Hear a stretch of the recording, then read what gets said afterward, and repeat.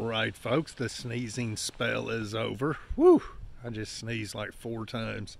Anyway, uh, April 30th, that time of year for sneezing. Uh, yeah, all stopped up. You know the you know the deal.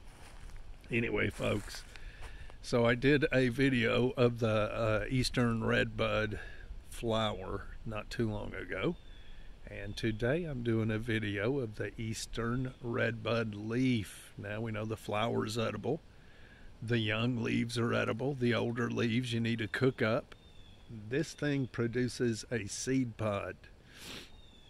Should I say a pea pod? Huh? Because it is in the pea family.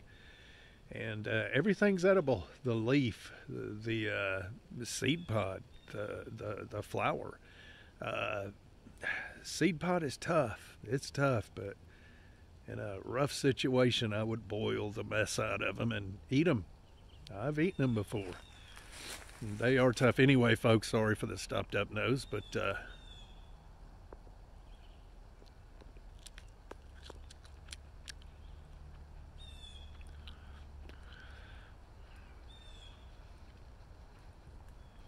in the pea family. That's for sure. Like a goat.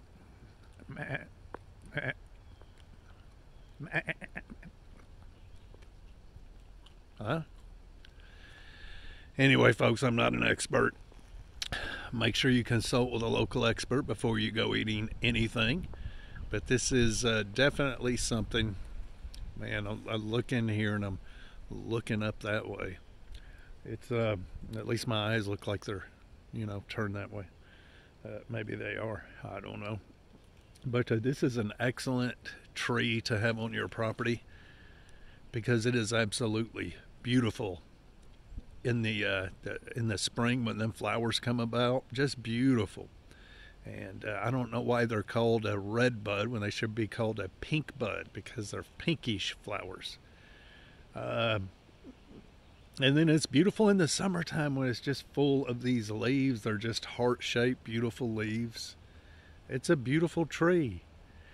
And it's edible. So imagine having a yard that is full of all beautiful plants and trees and shrubs, bushes, vines, and they're all edible. So beauty and you can get full.